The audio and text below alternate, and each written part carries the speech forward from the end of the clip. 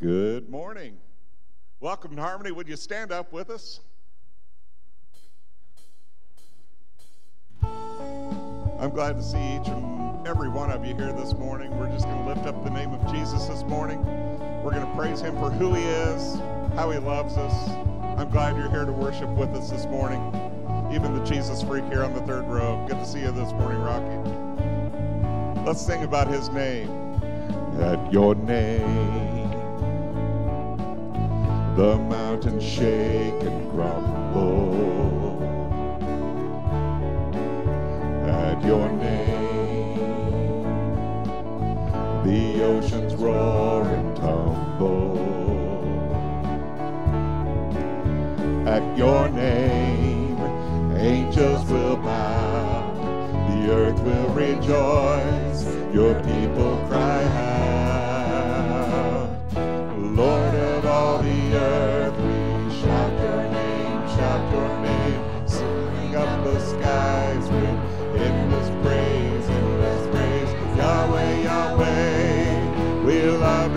to your name, O Lord. At your name, the morning breaks in glory. At your name, creation sings your story. At your name, angels will bow, the earth will rejoice, your people cry out.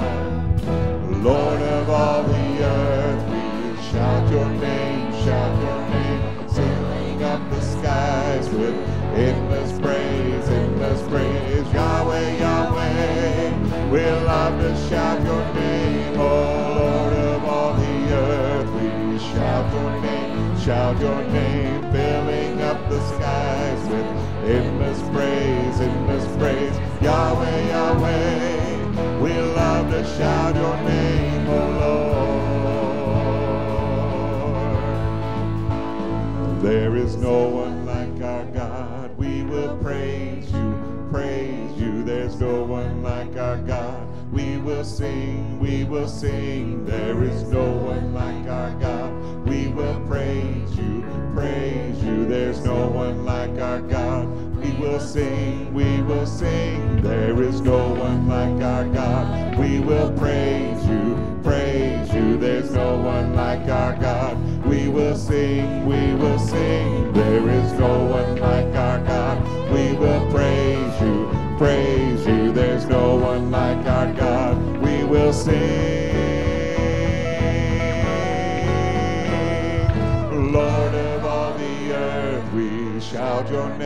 Shout your name, filling up the skies with endless praise, endless praise. Yahweh, Yahweh, we love to shout your name, oh Lord of all the earth. We shout your name, shout your name, filling up the skies with endless praise, endless praise. Yahweh, Yahweh, we love to shout your name, oh Lord.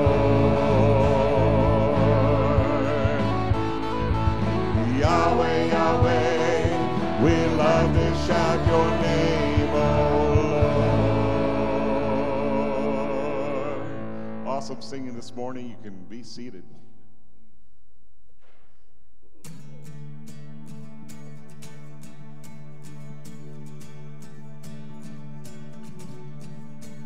I was buried beneath my shame. Think about this. Who could carry that kind of weight? It was my tomb till I met you.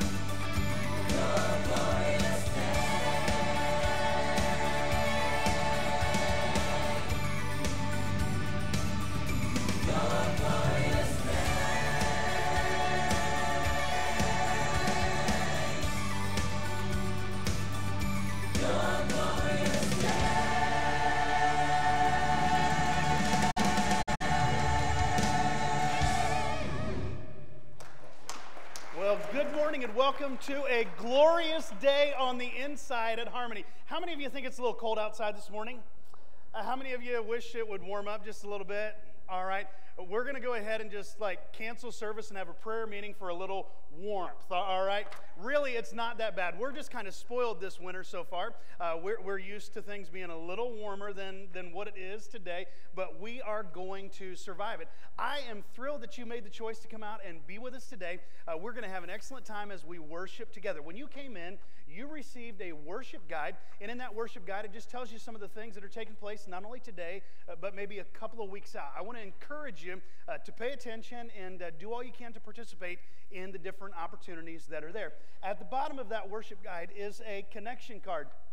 In that connection card, you have the opportunity, if you're a first time guest, to just uh, share some information. Uh, let us know how you heard about Harmony, and if you got any prayer requests or would like more information, please include that on there. You can detach that, bring it out to Main Street uh, at the Connection Center, and we have a gift that we would love to send home with you, and we would just like to learn more about you and be able to connect with you. So if you would help us with that, we would greatly appreciate it. If you uh, would like to go ahead and download the Harmony app, uh, you can go over to the uh, Apple Store uh, or the Google Store. You can download that app and you can fill out that connection card. Uh, if you're a regular tender, member, first time guest, whatever it might be, you can do it that way. Uh, and if you have prayer requests, you can submit that. We would love the opportunity to stay in touch with you as you go throughout your week. We won't send you 150 push notifications throughout the week, but if something takes place and, and we need to get that information to you, we will use that. and that would benefit you and help us communicate clearly with you. So if you would would like to do that, we would encourage you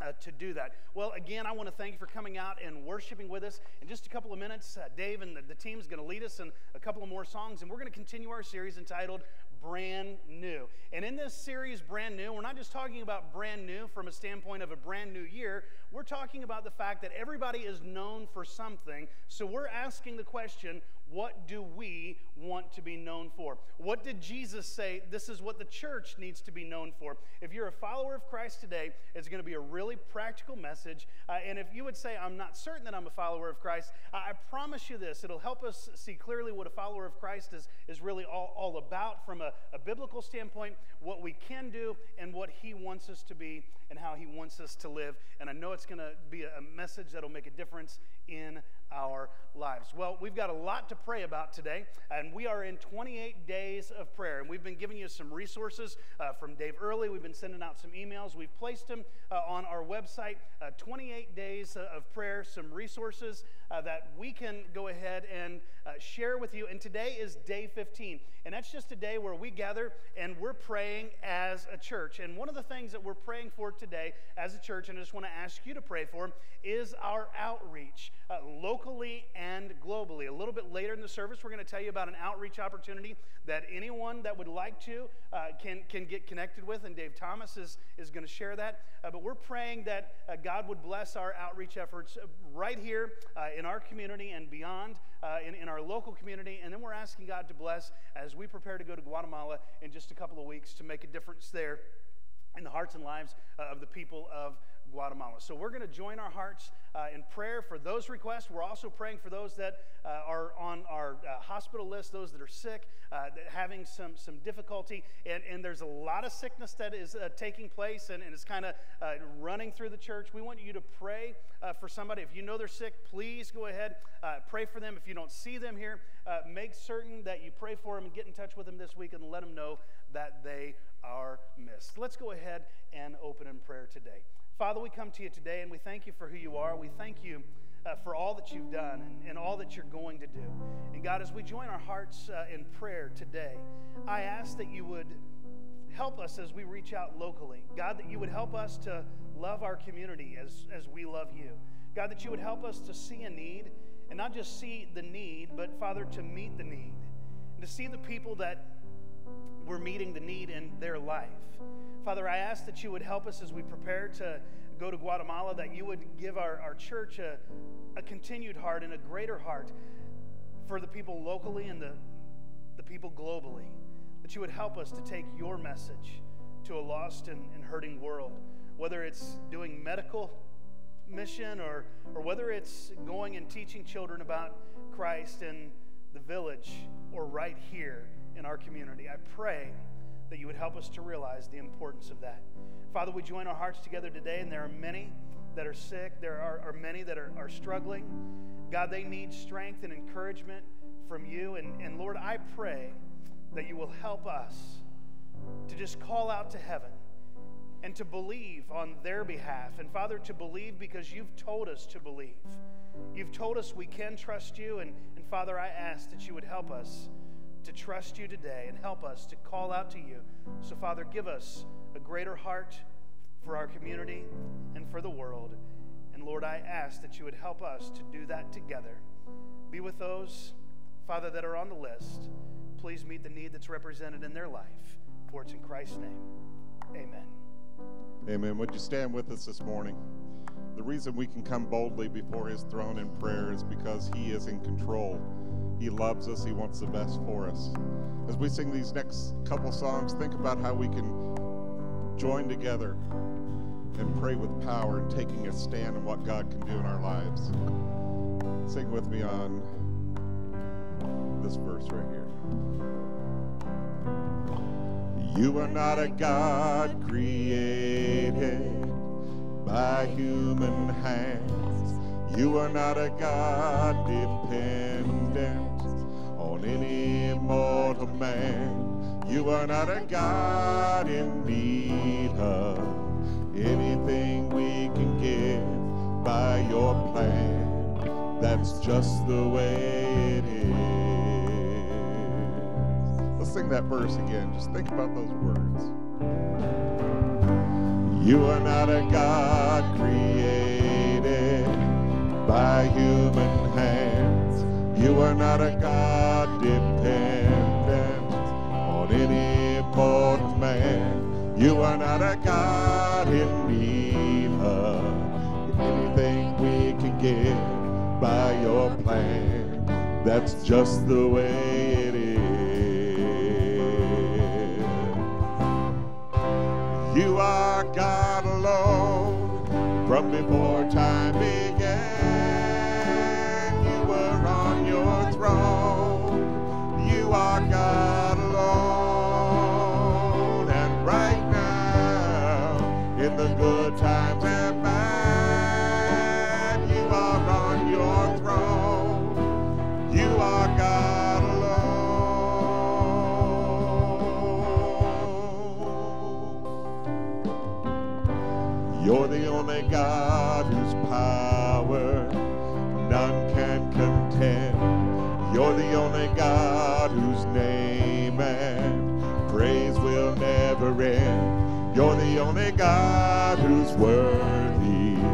everything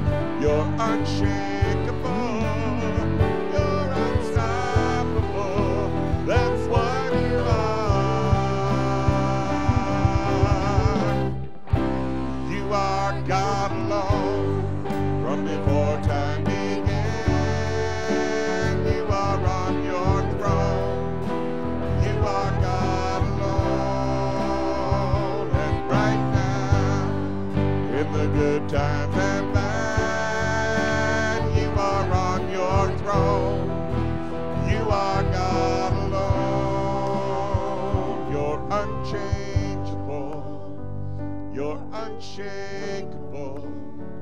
You're unstoppable. That's what you are. You're unchangeable. You're unshakable. You're unstoppable. That's what you are. You're unchangeable.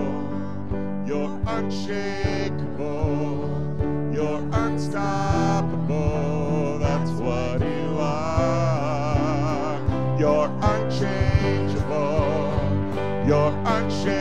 incredible.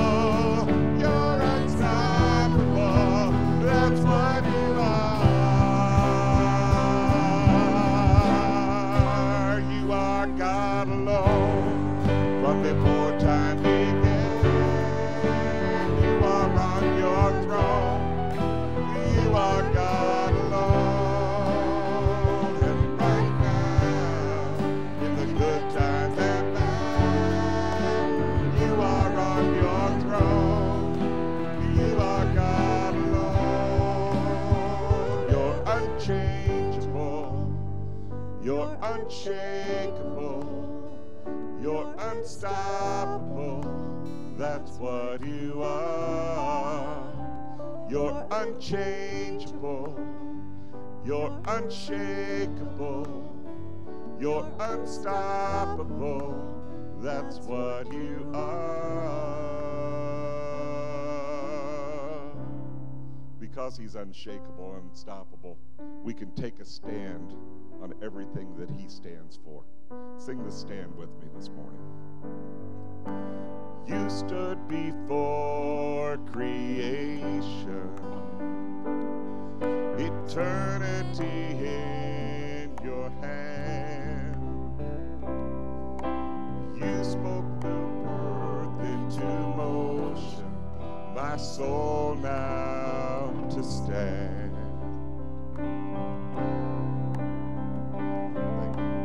You stood before my failures. You carried the cross for my shame. My sin weighed upon your shoulders. My soul now to stand. Good question right here. What can I say?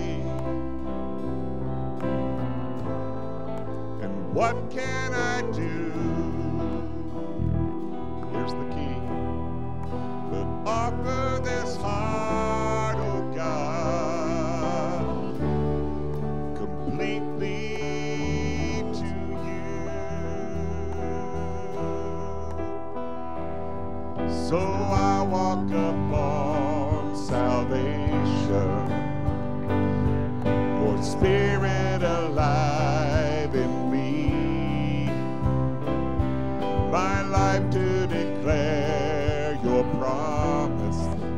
Soul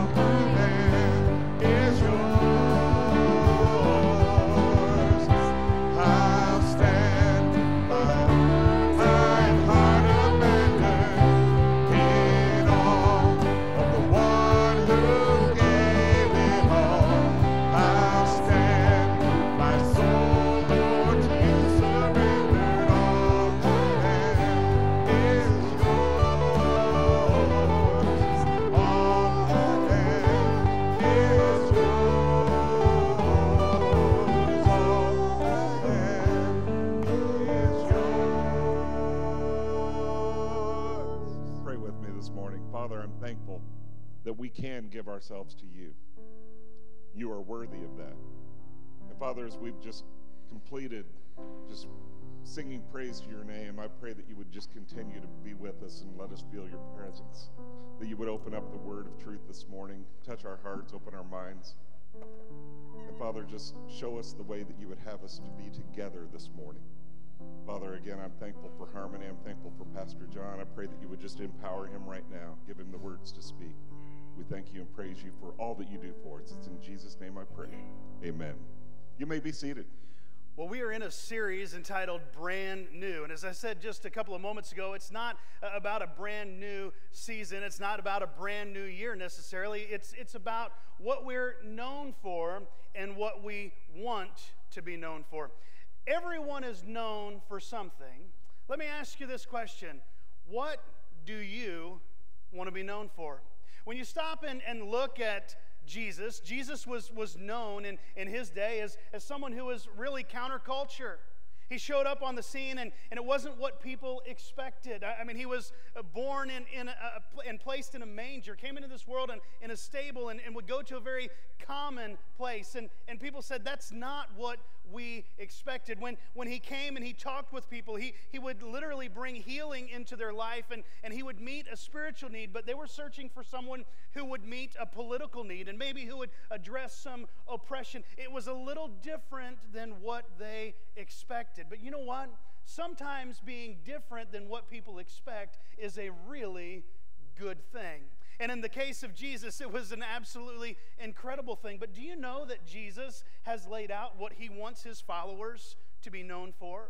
He, he's laid out what he wants your brand to be and what he wants my brand to be, what he wants his church to be known for. All throughout Scripture, we find common, ordinary people who are known for something. And if we just went down through and, and gave a list, many of you that have, have attended church a while, and maybe even some that are brand new to church or, or haven't been to church before, you might go ahead and, and be able to pick out some things that somebody in the scripture that you've heard about somewhere along the way is known for. Well, in Philippians, we have a story uh, about the, the Apostle Paul writing to a church of common, ordinary people. And he says, Look, this is what I want you to be known for. And one of the reasons he was able to say that is, is because of this. You see, prior to Paul coming to Christ, Paul was, was known as a, a, one who, who would be willing to consent to murder. He was one that was known to being not just kind of against the church, but really outright against the church. He was one that wanted to punish the Christ followers and, and not only punish them, but eliminate them. And as Paul writes in Philippians, he gives us a truth that we need to take hold of. And, and, I want us to get this today. You see, if, if we don't remember much of, of anything else that, that I say today, I want you to remember this, this truth that Paul pulls out of Philippians chapter 2. In Philippians chapter 2, Paul's going to teach us this principle that we is greater than me. That we is greater than me. You see, sometimes when, when it comes to following Christ, when it comes to living our life, we forget about other people that might be involved. We, we forget that there's somebody else to consider. We go through life and we just get living life and we think it's all about us. And you know, really, that's easy to understand because when we come into this world as a baby, what happens? When we need something, we cry, right? And, and, and mom or dad just runs to the rescue, and then we get a little older and we need something and we ask, and, and mom or dad or, or somebody else just runs to the rescue. And, and then finally, at some point in life, some have parents that say, Get it yourself. Consider somebody else. And, and then others, they, they hang on to them a, a little bit longer, but we begin to negotiate our way, and we begin to come to the conclusion that I'm not the only one in this world. I'm not the only one in this relationship, but there's still a tendency for you and I to think, me, I, is greater than we. And Paul writes in the first 11 verses, he says, I want you to understand something. That when it comes to following Christ, when it comes to what the church needs to be known for, when it comes to living for Jesus each and every day. We need to come to the conclusion and we need to be absolutely convinced that we is far greater than me. Let's take a look at what he writes. He says in verse number one, Philippians chapter 2, he says, Therefore, if there is any consolation in Christ, if any comfort of love, if any fellowship of the Spirit, if any affection and mercy, Fulfill my joy by being like minded, having the same love, being of one accord, of one mind. Let nothing be done through selfish ambition or conceit, but in lowliness of mind, let each esteem others better than himself. Let each of you look out not only for his own interests, but also for the interests of others. He says, Let this mind be in you, which was also in Christ Jesus, who being in the form of God did not consider it robbery to be equal with God, but made himself of no reputation, taking on the form of a bondservant and coming in the likeness of men. And being found in appearance as a man, he humbled himself and became obedient to the point of death, even the death of the cross. Therefore, God also has highly exalted him and given him the name which is above every name, that at the name of Jesus every knee should bow, of those in heaven and of those on earth and of those under the earth. And that every tongue should confess that Jesus Christ is Lord to the glory of God the Father. Let's take a, a look at what Paul teaches us in these couple of verses that, that we see taking place in Philippians chapter 2 in verse number 1. One of the things that happens in Philippians chapter 2 and verse number 1 is a simple truth that Paul points out, and, and here's what, what he says. If, if we could just go ahead and update the language and put it in maybe a modern vernacular, uh, Paul goes ahead and says, Church, I want you to remember this. As, as you're following Christ, here's what I want you to do I want you to get over yourself. Just a, a real simple thought process. He says that there's this thing called life, and there's other people in it, and, and you're not the only one. He starts off and he says, if there's any any encouragement, he says, if, if there's any comfort of love, if any fellowship of the Spirit, if any affection and mercy, he says, fulfill my joy by what? Being like minded. Having the same love, being of, of one accord, of one mind, let nothing be done through selfish ambition or conceit, but in lowliness of mind, let each esteem others better than himself. He says, Let each of you look out not only for his own interests, but also for the interests of others. Uh, Paul gives us something that's, that's really incredible. It's, it's bare bones basic, but, but it's extremely incredible. And, and, and here's what Paul goes ahead and, and begins to, to, to share with us. He says, Look, he says, We is greater than me. So, so here's what we have to remember we're in this together living for Christ.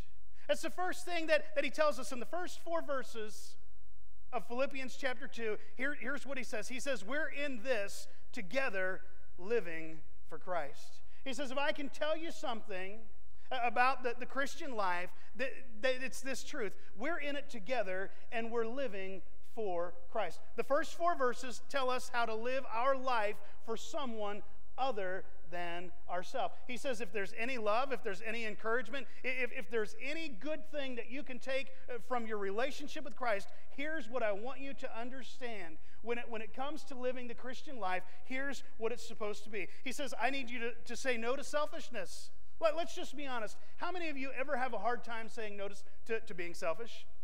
Any, anybody tend, tend to go ahead and say, man, I, I want my way?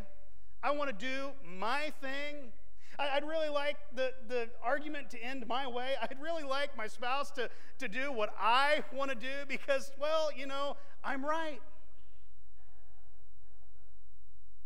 We, we, we go ahead and, and, and we, we parent from a standpoint, not always for, from what's, what's necessarily best or right, but, but maybe from just what, what we want what we want the outcome to be. Why is that? Because inside of each and every one of us, there's this little thing called a selfish streak. And Paul says, Look, here, here's what I need you to do.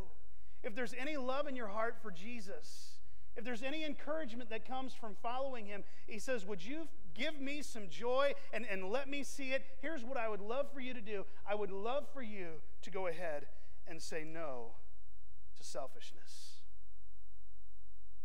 But sometimes saying no to selfishness is difficult because it costs us something, makes us feel different. It, it makes our life look just a, a, little bit different. And, and Paul writes and says, Look, here, here's really what needs to happen because of the love that you've seen Jesus display, because of the way he's lived his life. Here's, here's what I need you to do. I need you to say no to, to selfishness. You see, in the first four verses, he's telling us how our life should be and could be as we follow Christ. In the next few verses, he's, he's going to go ahead and tell us in verse number five and uh, down why it needs to be that way and what we can do to make it that way. He says, I need you to, to say no to selfishness. He says, just, just consider somebody else. Uh, but he, he doesn't stop there. He, he tells us he tells us this truth he says, Let each of, of, of you, let, or he says, Let nothing be done through selfish ambition or conceit, but in lowliness of mind, let each esteem others better than himself. He, he gives us a, a real simple truth that we need to value others. He says, when we're in this together and we're living for Christ, one of the things that we do is we say no to selfishness, but we begin to, to go ahead and say, I'm going to value someone else. Do you know one of the things that Paul is teaching the church at Philippi, and he's, he's teaching you and I today, is, is this people have value beyond what they can do for us. People have value beyond what they can do for us. And sometimes we, we only value people because of, of what they can do for us. And, and, and when they can do something for us, we suck the value out of them. And he says, Look, the, the church isn't supposed to be that way. You need to, to value others because they are the creation of Christ. You need to, to value other believers because they have been redeemed and purchased with the, the same shed blood that you have been purchased with. They are forgiven followers just like you are. You need to value them. We need to value others that don't know Jesus because God has a plan that's incredible for their life and would love nothing more than to see them come to be his follower. He says, I need you as a Christ follower in the church, I need you to say no to selfishness and I need you to see the value in others. I want to tell you something the person that's sitting next to you, they've got value. It doesn't matter who they are, it doesn't matter how old they are, they have value. Just a, a few weeks ago, I went and spoke to the, the DECA students at, at, Avon High, at Avon High School, and there was about a, 100 students gathered there, and it was just like a, a 15 minute talk on, on some principles that they're learning and, and dealing with. And, and here's what we walked away with that I wanted them to know in just a short time with a, a few illustrations and thought processes that they would connect with is that they are valued. And when I left that room, my former baseball coach and one of the principals said, I want to thank you for coming and sharing because they needed to know they're valued. You know what that told me? Tells me something about them that's the same for, for me and for you. People need to know that they have value. And the Apostle Paul says, Church, no matter, no matter where you're at, we can say no to selfishness and we can say yes to the value of others and recognize that they have value. That, that God has a plan and purpose for, for their life just as He does for each of ours. Then he, he says something else that's really simple. He says, Let each of you look out not only for your own interest, but for the interest of others. He says, let's be in this together. Let's not be selfish. Let's not go ahead and leave others with the idea they don't have a value. But he says, let's not only talk about their value, but let's show some concern for others. Paul says if we're going to live for Christ together, one of the things that we need to do is be willing to say no to selfishness and yes to meeting the needs in somebody else's life. And can I tell you something? We live in a world that is filled with needs. We live in a world that has people that are hopeless and helpless. And often the church looks at them and says, Wow, they're hopeless and helpless. What's wrong with them? And I want to tell you something. What's wrong with them is the same thing that's wrong with every one of us when we don't have Jesus. They need the hope and the help that only Jesus can give. And they need someone that knows Jesus to be willing to value them like Jesus values them. They need someone to look beyond the own needs in their life. They need somebody to consider the interest of them instead of just considering the interest of themselves and to be willing to say, Look, I'm going to say no to myself and I'm going to say yes to Jesus and valuing them and I'm going to look on their need and I'm going to get where they are and I'm going to do what I can to make a difference in their life. You say, How, how does that happen? Well, Paul goes on and he, he writes in the next verse, and he says, Let this mind be in you. In verse number five, he says, Let this mind be in you, which was also in Christ Jesus. He says, Who being in the form of God did not consider it robbery to be equal with God, but made himself of no reputation, taking the form of a bondservant and coming in the likeness of men. And being found in appearance as a man, he humbled himself and became obedient to the point of death, even the death of the cross. He says, Therefore, God has highly exalted him and given him the name which is above every name that at the name of Jesus every knee should bow of those in heaven and those on earth and of those under the earth, and that every tongue should confess that Jesus Christ is Lord to the glory of God the Father. You see, in the first four verses, Paul talks about us being in this together. And he says, This is what you need to do. And he says, And by the way, this is what Jesus did.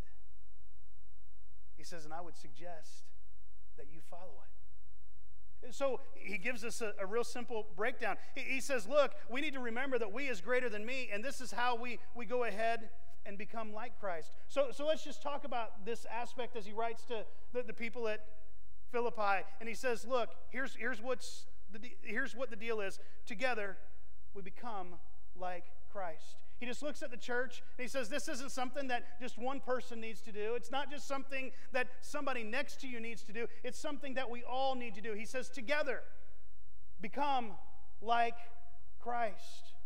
Well, what does that, that mean for you and for me? When we read down through what Jesus did in, in verse number five, as, as it's described by Paul, he says, Let this mind be in you he says, You have a choice. You can choose to do it, which was also in Christ Jesus, who, being in the form of God, did not consider it robbery to be equal with God, but he made himself of no reputation, taking the form of a bondservant and coming in the likeness of men. What does it take for you and I to take a step and become a little more like Christ? I want you to just listen in for, for just a minute because this year we're giving a lot of attention to you and I taking our next step in faith, to making our, our next step in becoming a little more like Christ. You see, the first thing that, that Jesus did, that Paul said, I would encourage you to let this mind be in you, let this attitude be in you, let this action be in you, let this behavior be in you. First thing that you see Jesus was willing to do was to sacrifice. It, it, means that, that Jesus coming to earth, it cost him something. He was willing to, to empty himself. He was willing to leave the glory of heaven and come and walk in this sin filled world.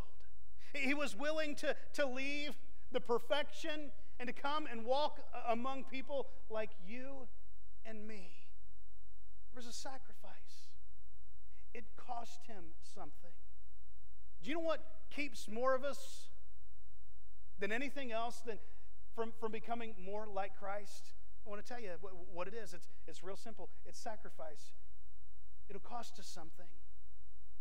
We'll have to give up a habit. We'll have to watch what we say. We'll, we'll have to, to get uncomfortable where we're already comfortable and, and do some things that we know Jesus wants us to do, that He's laid out in His Word. But, but we tend to say, look, I'm, I'm comfortable, and, and if, I, if I really were to sacrifice, it would cost me something. I'd have to quit. I'd have to give up. I'd have to start. And, and, and we can lay some things out, but here's what, what Paul said uh, uh, about you and I together becoming more like Christ. He says it's possible, and here's how you do it. He says, Let this mind be in you, which was also in Christ Jesus. He was willing to sacrifice. And when Paul said, Let this mind be in you, I want to tell you something. It was the Holy Spirit writing through him, and the Holy Spirit isn't going to guide Paul to write something that you and I are not capable of doing with his help. He said, Be willing to sacrifice. Be, be willing to sacrifice. Let me ask you something. What are you willing to sacrifice to become more like Christ? What are you willing to give up so that you can go up and, and be more like Jesus? What are you willing to let following Christ cost you so that you can reach someone else for Him? You see, the Apostle Paul knows what he's speaking of because he's writing to, to the people at Philippi and he's writing from a Roman prison. And he's saying, Look, I, I want to tell you something. You can make a sacrifice, it's possible. It's amazing that many people would say, when, when you go through Philippians, it's the pathway to joy. For Paul, it was a pathway to joy through prison. Even though his circumstances changed, he said, I'm going to continue to sacrifice. I want to continue to follow Jesus. He says, This is what I am willing to let it cost me. So, so, church, let me ask you today what are you willing to sacrifice to become more like Jesus? Paul didn't stop there. He didn't say, look, we can just go ahead and sacrifice. He said Jesus was, was a servant. He says he was willing to sacrifice, and then, then he says this he, he was willing to be a servant. Well, what does that mean? He was willing to serve people that couldn't do anything for him in return. Think about it. He, he, he was willing to give his very best and to live his very best. He was willing to serve the lowest of the low and didn't expect anything in return. He says, You can come and follow me, you can come and trust me. In fact, I would love for you to, to come and follow me, and I would love for you to serve others, but, but my coming and serving you is not predicated on what I get out of it. It wasn't a contract. It, it, it wasn't a, a, scenario where he said, okay, I'll sacrifice and I'll come and serve if you do A, B, C, D first. No, absolutely not. It, it was to serve. So, so let me ask you this. Maybe we would do well to ask the question, who am I serving? Maybe we would do well to, to ask the question, why am I serving? Because can I tell you this? When you serve, only when you're leading the way, you're not serving.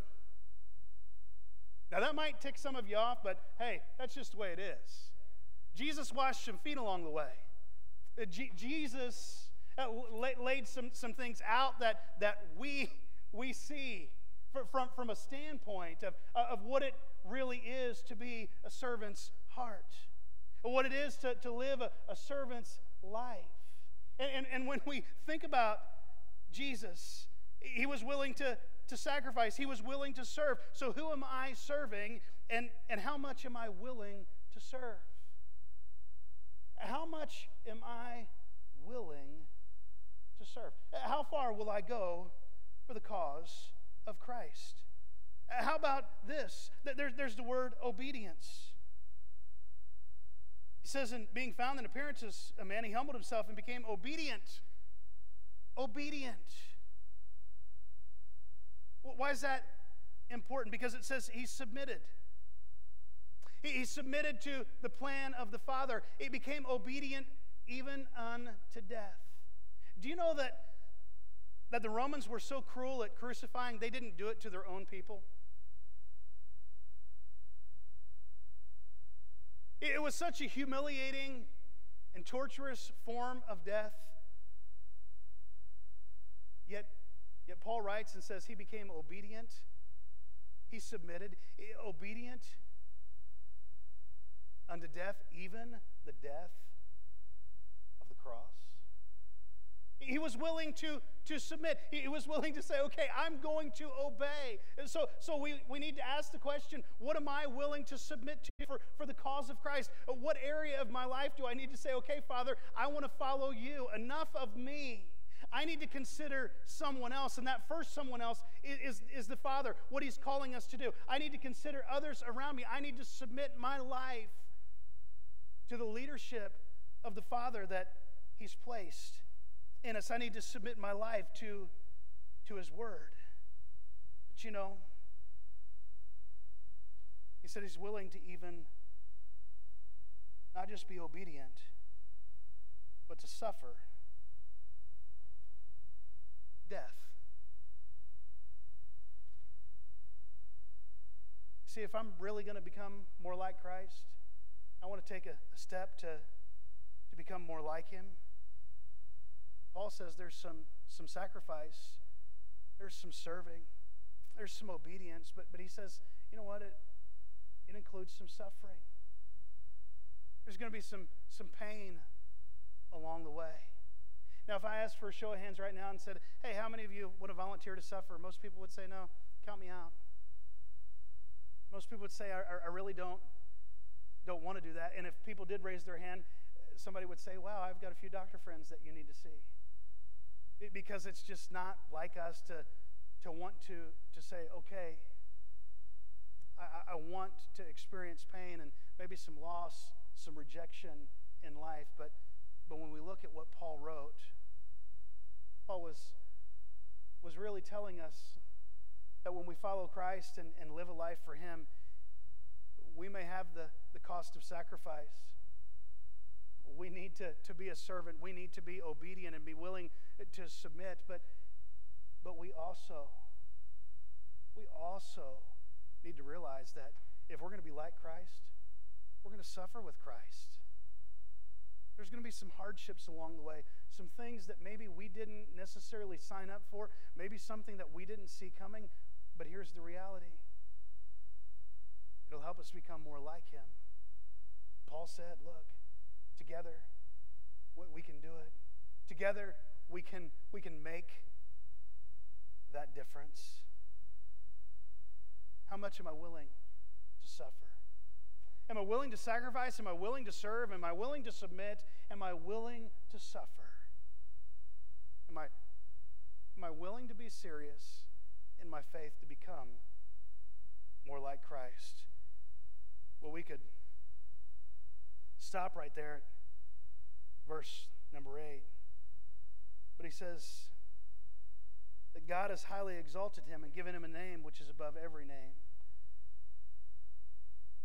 Paul tells us that together we're lifting up Christ. In verses 9 to 11, Paul says God promised to exalt Christ. But he teaches us a principle in what he's just given us that you and I today, he says, one day every knee will bow and every tongue will confess at the name of Jesus. But until that day comes, here's, here's what you and I are supposed to be doing in our life. Together, we're lifting up Christ. How do we lift up Christ? We lift up Christ by considering someone else. We lift up Christ by valuing someone else. We lift up Christ by being willing to sacrifice, by be, being willing to serve and submit, by being willing to suffer. We lift up Christ by pointing people to Him by the way we live. And the Bible teaches us a, an incredibly important principle for every one of our lives in this passage. And it repeats it in Luke chapter 14. He says, For whoever exalts himself will be humbled, and he who humbles himself will be exalted. There's something that comes from the pen of Paul, there's something that comes from the pen of Luke that's a, a true statement that we were able to see in the life of Christ. But Luke writes, and he says, Whoever does this, this is what's going to happen. He says, When we go ahead and take a path of humility at some point in time, at some point in time, they, they will be lifted up. Meaning, there, there's going to be more than always taking the humble path. When we follow Christ and we take on humility and become more like Him, at some point in time, some point in time, we'll see that it's worth it. He says, Why is we greater than me? He says, Because when, when we go ahead and live the Christian life, we're thinking about others. We're not just thinking about ourselves, we're thinking about others. And when we do that, we are lifting up the name of Jesus. Can you imagine what it would be like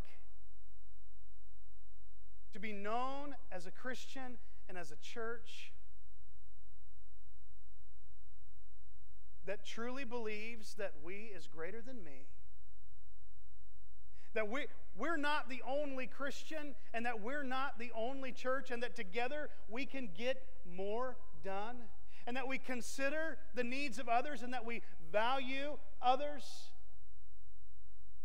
and that we begin to go ahead and meet needs in their life, and that together we say, Look, let's sacrifice and serve, and let's submit, and, and, let's be willing to suffer. Why? So that we can lift up the name of Jesus, because Paul says this is how his name is lifted up. He says, One day every knee is going to bow, every tongue is going to confess, but until then, Christ is lifted up by my action and your action each and every day in our life. You see, that's why the first four verses matter so much. Because how we live is how we lift up Jesus Christ. In verse number 12, he says this He says, Therefore, my beloved, as you have always obeyed, not as in my presence only. He says, You've listened and you've followed, not, not just when I was there. You're not just uh, doing it when, when a parent is there, but, but you're doing it day in and day out. He says, But now, much more in my absence, work out your own salvation with fear and trembling, for it is God who works in you both to will and to do for his good pleasure. He says, Do all things without complaining and disputing, that you may become blameless and harmless children of God without fault in the midst of a crooked and perverse generation, among whom you shine as lights in the world. He says, Holding fast the word of life, so that I may rejoice in the day of Christ, that I have not run in vain or labored in vain. He says, Yes, and if I am being poured out as a drink offering on the sacrifice and the service of your faith, I am glad and rejoice with you all. For the same reason, you also be glad and rejoice with me. Paul says, you know what? We're lifting him up together. But he says, as we lift him up together, we're to be the light and the word of life Christ. He says, as we follow him together, he says, we, we need to live for Christ, we need to become like Christ. Uh, we, we need to, to understand that we lift up Christ. Why do we lift up Christ? Because day in and day out, here is the Christian responsibility. We're supposed to live out our salvation. Why are we supposed to live out our salvation? When, when we look and, and see, he says, work out your own salvation with fear and trembling, for it is God who works in you both to will and do for his good pleasure. So, some people think, man, I've got to be busy around the church. I'm working for my salvation. No, uh-uh, that's not what Paul is saying. Paul is saying, let the grace of God have an effect in your life to where you want to live for him because how you live is what other people see. And that's why in the first four verses he says you need to consider someone else. You need to consider the value that somebody else has and, and the value that Christ has put on them. He says, live out your salvation. He says, give careful attention to how you live. And he says, do it together. You know what that means? That we're supposed to encourage one another in this thing called life. We're supposed to encourage each other to, to live more like Christ and more for Christ. Why is it important? He says in verse number 15 that you may become blameless and harmless children of God without fault in the midst of a crooked and perverse generation, among whom you shine as lights in the world, holding fast the word of life. It says, holding fast the word of life. He says, you need to live together like Christ because you're the only light that some people will see. He says it's a dark world that's hurting and has a need.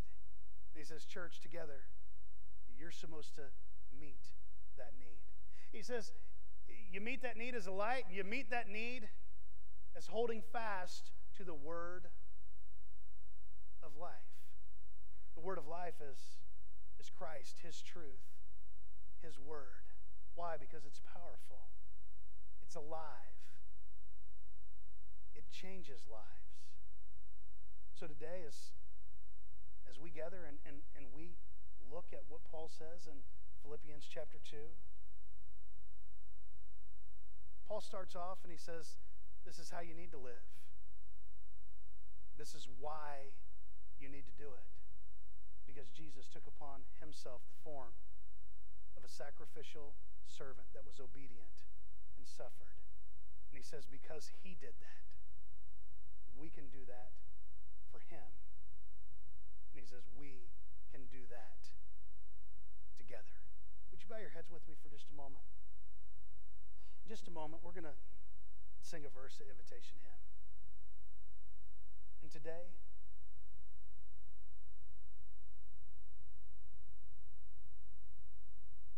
I just want to ask you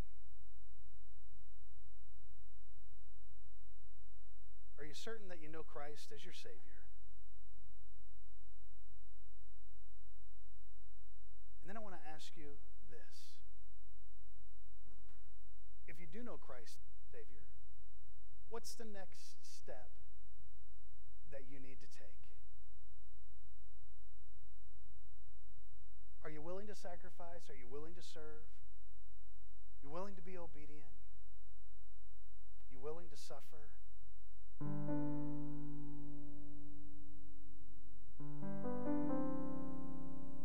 You see, Jesus wants us to become more like him.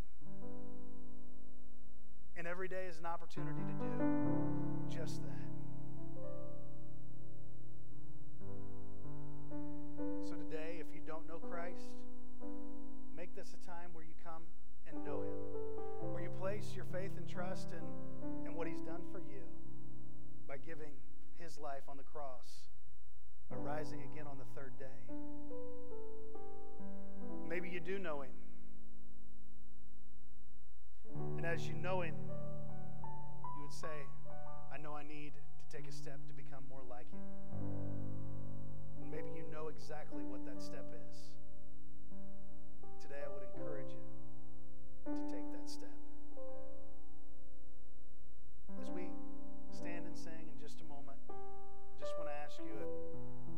got a want to in your heart to come and pray or to come and talk with someone, just step out and do that. If you know the words of the song, you can sing along. Maybe you got a prayer request that you want to pray about right where you are. Certainly, please feel free to do that. Would you stand with me, please?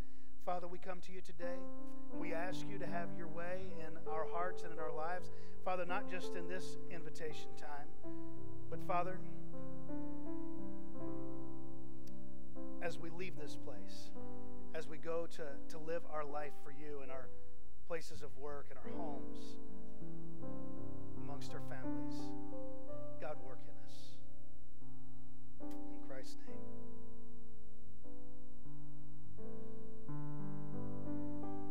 You stood before creation, eternity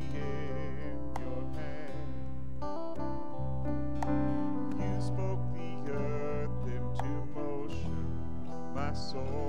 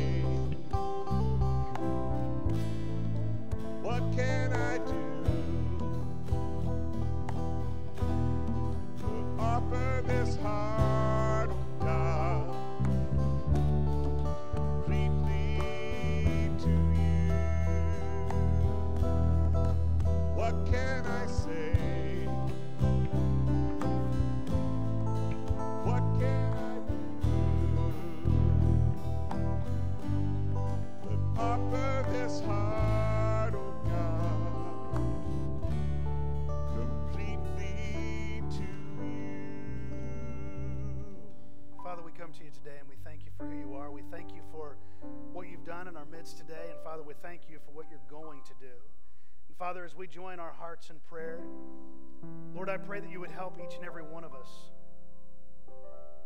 in the days that are ahead of us in this year to be willing to take our next step, whether it's a, a, next step in coming to know you or whether it's a next step in sharing our faith or joining a life group. Father, reading our Bible, praying on a daily basis.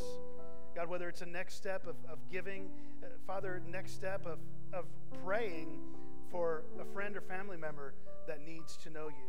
Lord, I, I pray that you'll help us to take that next step. For it's in Christ's name. Amen. You may be seated. I want to thank you for coming and gathering with us today as our ushers have, have prepared to help us receive our offering at this time, and they're coming at this time. I want to remind you that you can take out your worship guide, detach that, and and uh, place that in the uh, offering plate uh, with your name, any prayer request, any, any of those type of things that, that uh, we can help you with. We want to encourage you to do that. If you're a first-time guest uh, here today, please just attach that, bring it out to uh, the Connection Center, and we love the opportunity to be able to connect with you. I'm going to ask Dave Thomas to come on up at this time. he's going to ask the blessing on the offering, and then he's going to tell us about an opportunity that we have as a church to go ahead and take a next step locally to make a difference in the world for Christ. Dear Heavenly Father, we do come to you now, thanking you for grace and mercy and for an opportunity to serve in this church. I'm glad that the church is service minded. Bless this offering that we're about to take. For it's in Christ's name we pray. Amen. Pastor, I'm not crazy. You may think I'm crazy, but I'm not crazy. I, I've done some crazy things. It's true. I've thought some crazy thoughts, but I'm not crazy. For the most of my life, I thought I was. And then something happened. I met Mike Stevenson. Yeah, that guy's crazy. All right, so I'm here to present a little bit about the, the Indianapolis Boys and Girls Club. On the screen in just a second, you're going to have uh, some pictures of some of the kids that we work with. A brief history about the Boys and the Girls Club. It was the year 1860. Three ladies from Hartford, Connecticut, they seen some kids in need, and they thought, we got to get these guys doing something more positive, something better with their lives. So that was the year that the first Boys and Girls Club was created. On the screen in front of us, we have boys and girls today from the Lagore Boys Club located on Minnesota Street. That's about two miles north of the old Indianapolis airport. You know, when you see pictures like this, it reminds me of a photo where you got these pictures with little bitty dots. It's like a million dots on this photo, and you don't know what it really says. And you look at it real closely, and you see something differently. That's what I see when I see these pictures. Because 54 years ago, my brother and I walked to this same boys club and was on that stage with them. May 2nd, 1965. That was the day that our father died. I was seven, my brother was nine, and we would go there after school. We lived there in the summer. So I can see myself in those pictures as you see them. Someone might want to say, What would a volunteer do at the boys' club? Just be yourself. That's what I do. I take a bunch of board games in there. I've taken so many board games in there, they gave me a locker. And I can just lock them up, and they say, That's Dave's stuff, stay out of it. We play Connect Four tournaments, and we have uh, mentorship programs, opportunity to talk to the kids. Really, a volunteer would just need to be somebody that loves children. The end game is to get the boys and girls to go to camp, like a Camp Kare. We took four children last year to camp to expose them to the love of Jesus Christ. The goal this year is 20. Now, there's a one, there's two pictures on here that we may see that are by themselves. One is Chloe, and the other boy is Harley. Those children are like many of the kids there. They're considered at risk. For two years, I've been going to the boys' club, and Chloe is one of the girls that reminds me of my daughter Laura. So you have connections with these people. She's been telling me for two years that her mother's getting ready to get a house for. She lives with her grandmother for two years. Harley's the same way, lives with his aunt for the last two years. So we're looking for volunteers that come and they want to come to the club and say, well, you could spend an hour a week, an hour a month. I go there two or three, four times a week. So there's really no time commitment on what on when that you need to go do this. But let me tell you one good thing, and I'll be done. Chloe is one of the girls that is at the club. She came to the Awana program last week with her two sisters. And when she came here, they give her a start zone, which is essentially God's simple plan of salvation. So we took her home and her two daughters, and she says, can you leave the light in the car on so I can memorize my verses? And I thought, well, that's pretty cool. So if you want to volunteer at the Boys Club, I do have some background checks that must be done.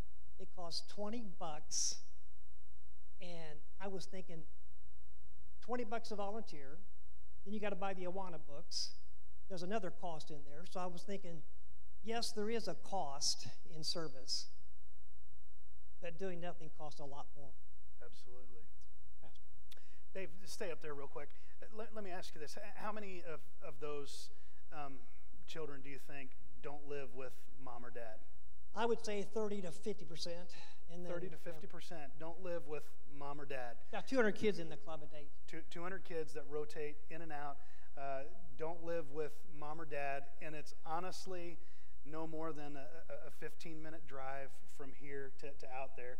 Maybe uh, if traffic's a little heavy, a, a, little more. But you go out on Wednesday afternoons a lot and, and other times um, to, to serve. You, you're making a difference and reaching people for Christ. I want to tell you something.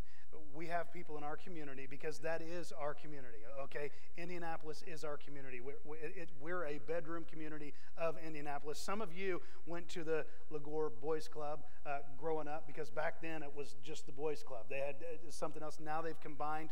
Uh, and and uh, Dave Veronic used to take us to the, the boys club and we would go in and play basketball with different ones that, that were there and just try and, and be a witness and, and let them know that somebody cared. And it's an opportunity for our church to be able to connect with them and to say hey uh, there's people that love you. It's one thing to tell somebody that god loves you pat them on the back and walk away. It's another thing to say hey let me tell you that god loves you and i'm going to show that love to you right here right now and i'm going to walk with you through life. And uh, Dave is, is doing an incredible job down there. And if you want to get connected, I would encourage you to see him immediately following the service. An incredible opportunity.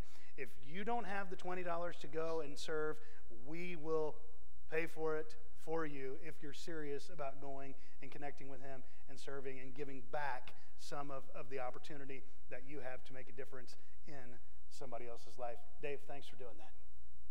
Let's give him.